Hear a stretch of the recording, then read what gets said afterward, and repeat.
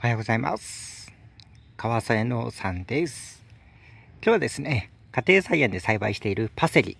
は冬の間どんな管理をしているのかについて解説していきたいと思います。でうちはプランターに2つパセリを植えてるんですけど、で、パセリは冬場すごい寒さに強いんですよね。まあ、ここのところもマイナス2度とか、そういった気温になってきてるんですけど、もう全然衰えないですね。はい。で、冬の間、水管理は、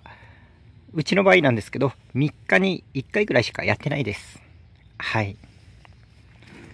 まあ、毎日ね、えーやってしまうと、あの、寒さとかで、まあ、根っこがね、やられてしまう恐れがあるので、まあ、できれば昼間、太陽が出て、暖かくなってから、水を3日に1回程度かけるくらいでいいんじゃないかなと思います。で、液とかも少しで大丈夫ですね。パセリの場合。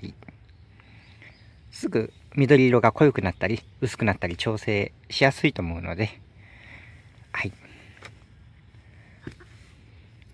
こんな感じで栽培していってます。で、風がね、強いところに当たるよりかは、まあこうやって壁があるところとか、強い風が当たらないところに置いてあげるだけでも傷みにくいと思うので僕の場合はこんな感じでプランターを置いてますハウスの前にで収穫はですねもうスタッフさんとかに自由に取ってくださいって言ってあるんですけど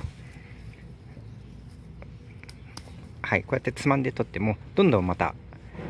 下から増えてくるんですごい栽培しやすい野菜だと思います。よかったら参考にしてみてください。はい。ということで、またチャンネル登録と高評価の方もよろしくお願いします。それじゃあ、バイバーイ。